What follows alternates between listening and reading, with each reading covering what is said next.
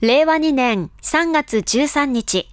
阿蘇市一宮町宮地の阿蘇神社で、阿蘇高菜の新漬けが奉納されました。阿蘇高菜の新漬けを奉納したのは、阿蘇の漬物を製造販売する阿蘇高菜漬け協同組合の7名で、毎年この時期に阿蘇神社を訪れています。まず、阿蘇神社の仮拝殿に今年収穫され、できたばかりの阿蘇高菜の新漬けがお供えされ、神職が神様に高菜の新漬けが出来上がったことを報告しました。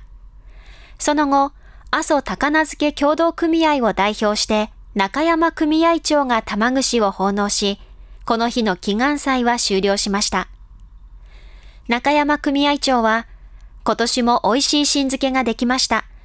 この時期にしか食べられない新漬けをぜひご賞味いただきたいと話していました。組合によると、後輩と暖冬の影響で、今年は例年に比べ3割減のおよそ200トンの収穫となりましたが、